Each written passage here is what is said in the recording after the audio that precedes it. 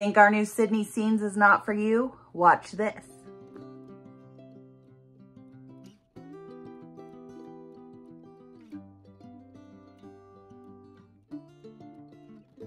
Hello, my friends. Welcome back.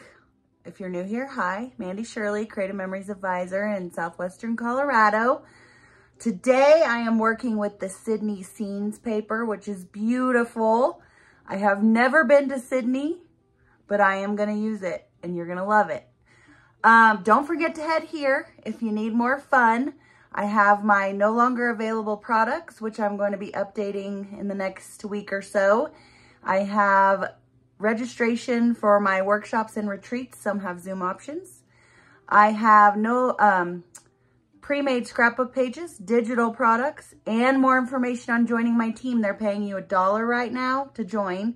Plus, you get some fun silicone mats to use in your, in your scrapbooking. So, let me know if you want more info.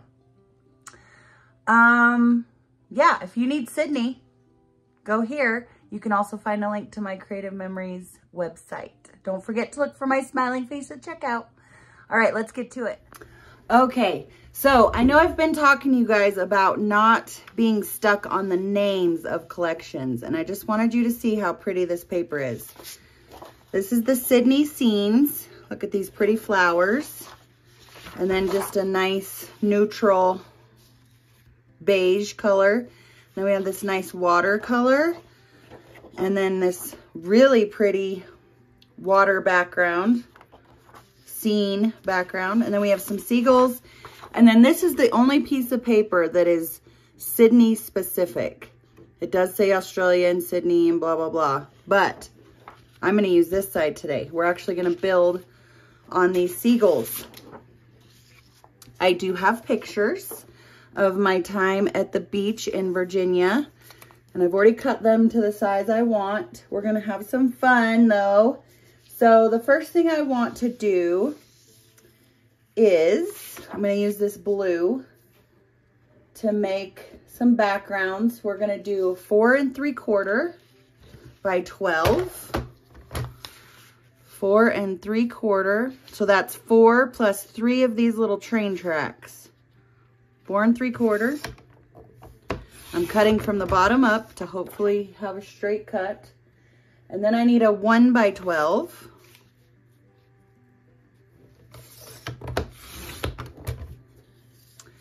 And then I think I need two two and a half inch pieces, which I have plenty. So I'm to do two two and a half.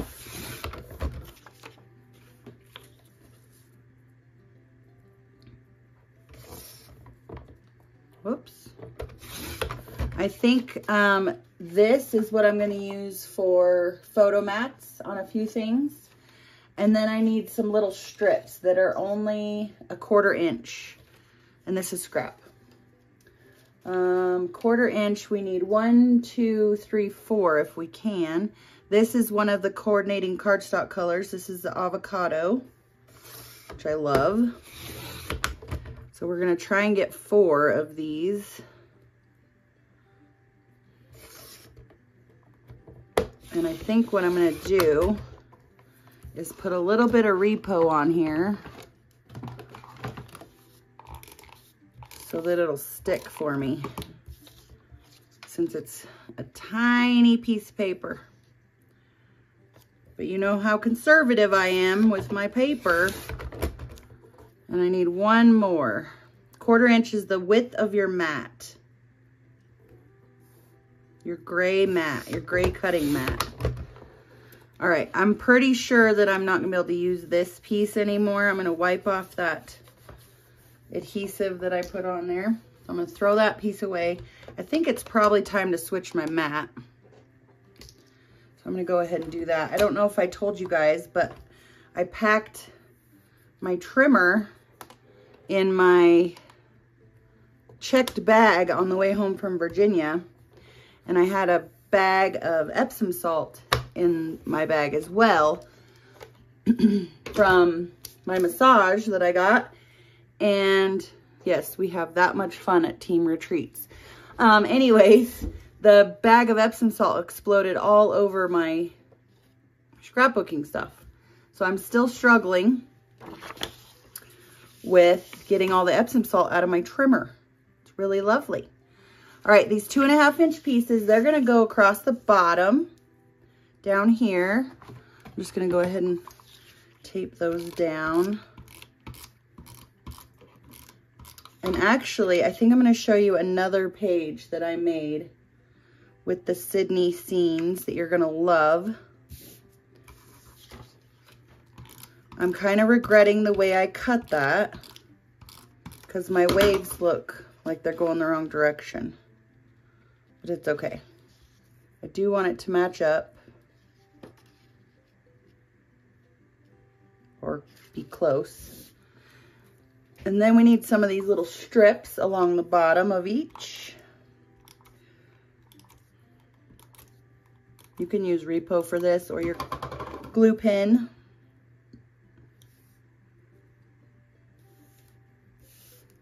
So pretty. Yes, you probably could have welded this together if you wanted to save more paper, but I thought this would be easier this time. Oops, went a little crooked. And then this big piece is gonna go over here.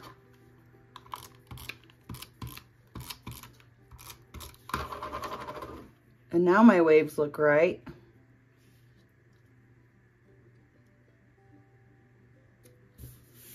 Perfect. And our inch piece is gonna go on the other side.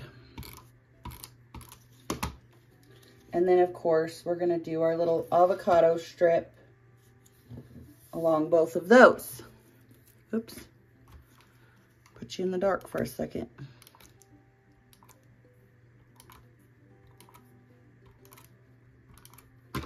This piece looks like it got cut a little bit crooked.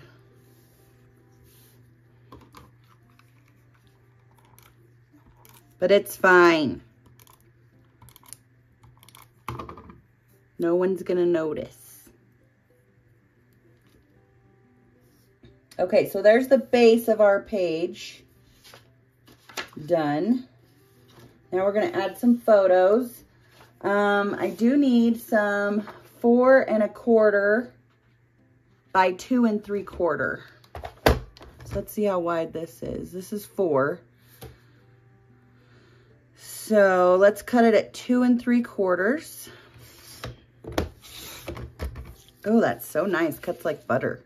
And then we're going to cut it four and a quarter. I actually need four of these.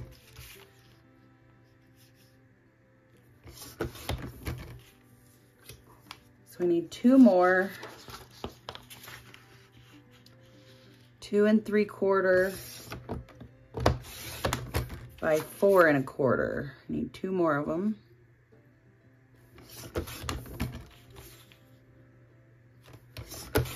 And then I think I want a four and a quarter by six and a quarter.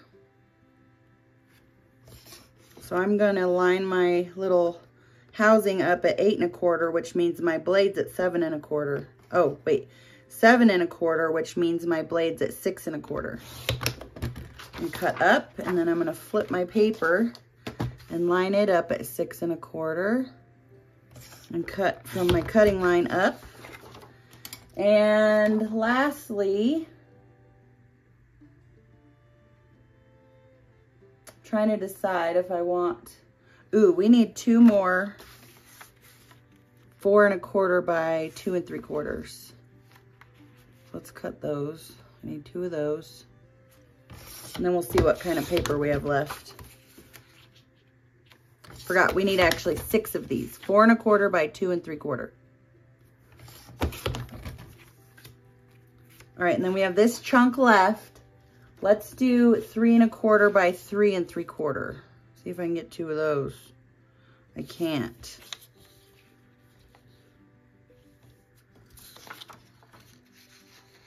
I have a six and a half by five and three quarter chunk left So I might just set this aside for now and be good with it. All right. Next thing I want to do is get my handy dandy corner rounder, wherever that may be. And I want to, these four and three quarter by, what I tell you? Four and a quarter by two and three quarter. I want to notch them with the corner rounder, just like that.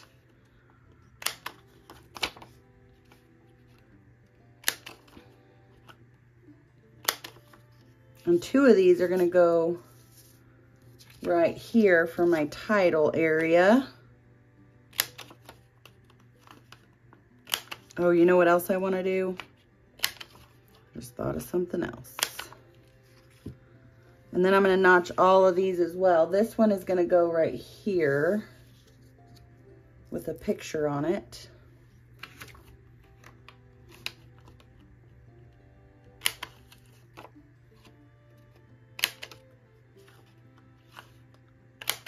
We're going to make these look like little tickets, I think. I hope. Maybe I should be cutting them before. Oh well, I already started. I'm going to try and do two at one time to save time. Oh yeah. It works.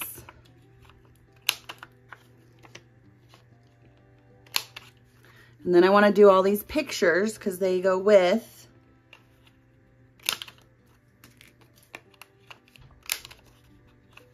Love our corner rounder because of this. More than one option. These are some jets flying overhead since there's a base at Virginia Beach. It's kind of cool to listen to them. They're pretty loud. Pine cone I found on the beach. Little taste of home on the beach. I thought that was cool.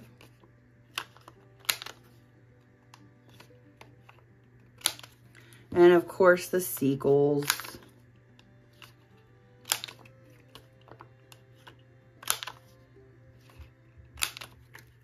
Okay.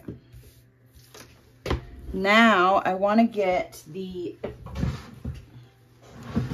postage stamp blade for my trimmer.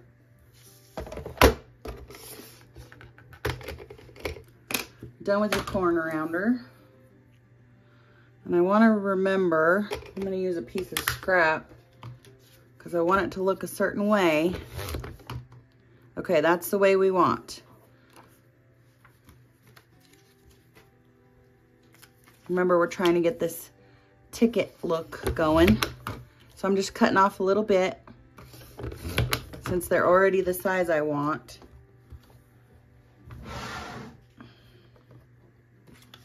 I'm going to do that to all the pictures that I just corner rounded. And all the white pieces that we just, I guess it's not corner rounded, inverted. Oops, well, that worked. You don't want a lot to cut off because I'm going to do more than one at a time to save time. Cutting off a little bit.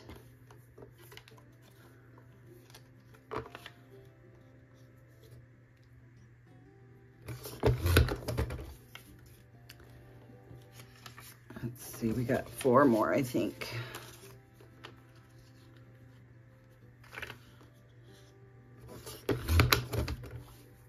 This is gonna look so good. So yeah, if you don't have this trimmer, you're missing out. Not only does your mat um, to wear item, so you can replace it, but you have four settings on it. But you also have these fun blades. Okay, all the pictures and all of those are done. So now we can finish building here. Oh, I better put my blades up so I don't lose them. It's the other handy thing about this trimmer. Your blades store right underneath.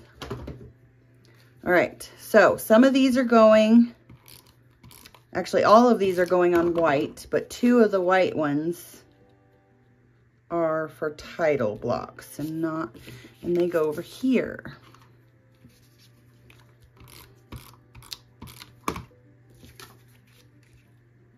Are you loving it? We're just going to stagger them.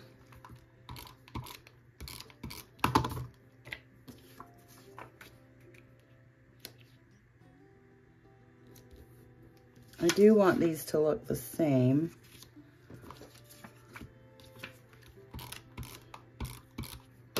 Perfect. So all I did was cut these at four by two and a half and then added a quarter inch to both um, measurements to make the mat. Four by two and a half and then four and a quarter by two and three quarters. Make sense? This flower paper is really pretty too. And we have this picture going there, which I hope fits because I don't know. Oh yeah, we could cut some off. So this was a cell phone photo, so I had to trim it oddly so that nobody's face got cut off. So my four by six mat is not gonna work. Oops.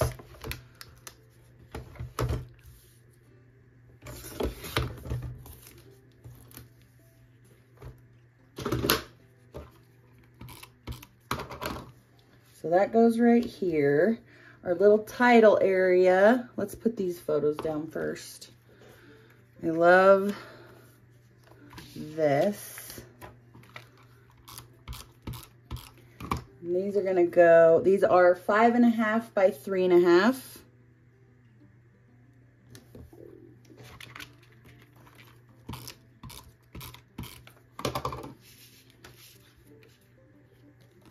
So what if you don't have seagulls? Well, you have some orange paper that you're not going to use, but the rest of it is so pretty. Or you can just, oops, the wrong tape. You can just use a little bit of it and nobody will even know it's seagulls. It is a real pretty blue.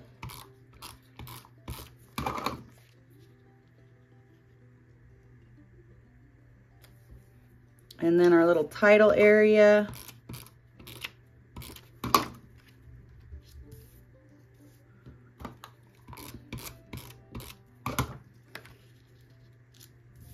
And then I have two more pictures to go right here.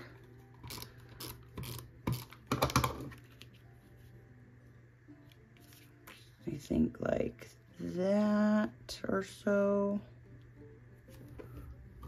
Love it. Looking so good.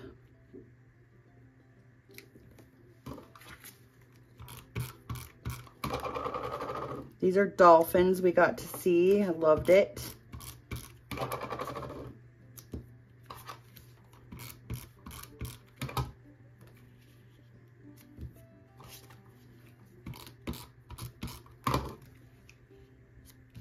Don't you just love it? Then I have some This Life embellishments I want to use.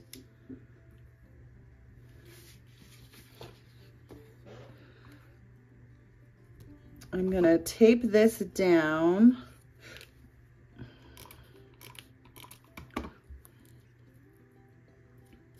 And this could be more embellishments or you could do um, a journal box, which is probably what I'm going to do. And I have some suns and some clouds. Again, these are all from the This Life. So, you know, don't forget to combine collections as well. And this life is very versatile and goes with everything.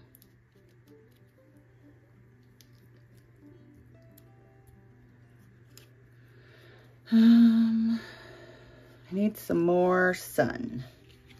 I don't want to do flowers because that really doesn't have anything to do with my page. I do have another sun. I have another cloud.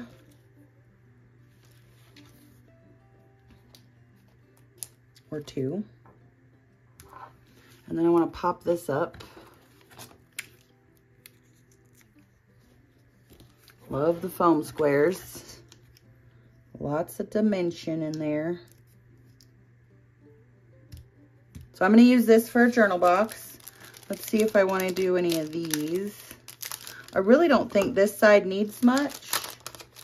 I do have another sun.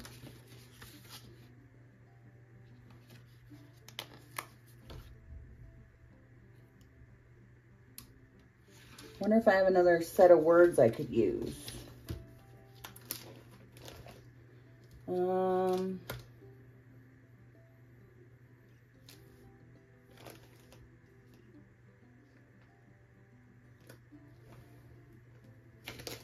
How about we have smile? Like it. We'll do it. Let's see. Do I want some of these? Is the question. Maybe with some orange to bring the orange all together. Oops. What color is that that fell off? Purple. I don't think I want purple. Maybe some blue and this light blue. I'm really trying hard not to forget about these little enamel dots because I always have a ton left over.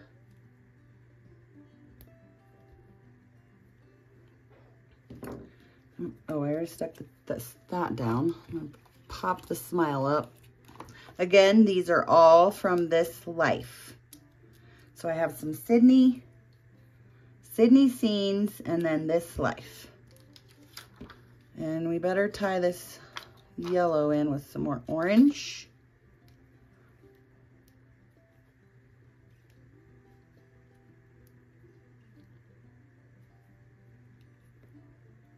And one more orange, I think, over here. Okay, what do you guys think? I think it's done. I love it. I want to show you one more page, one more double page spread that I did with this collection before I let you go. Here is another page I did, which doesn't look like Sydney at all. Does it look beachy or the lake or a river? Yes. Looks like a sunset on a river in the desert or in the pine trees. You know, I love it. So again, I just don't want anybody to be stuck on what the collections are called because they're so pretty. Like I said, don't be stuck on the name of a collection. It's They're all so pretty. They can all be used for a variety of things, and I encourage you to check them out. You can hover over um, all the papers that we sell, and you can see both sides. So if you just are on your computer and you're scrolling through the paper and you want to see the other side, just hover over that graphic and it'll show you what the flip side of the papers look like. Um, like I said, don't forget to head here if you need some Sydney. There is a link to my Creative Memories website and all the other fun we talked about earlier. I appreciate you all so much. Thanks for liking, following, sharing, subscribing, you know, all the things. And let me know if you want more information on joining my team. Love to have you. Have a good day. See you next time.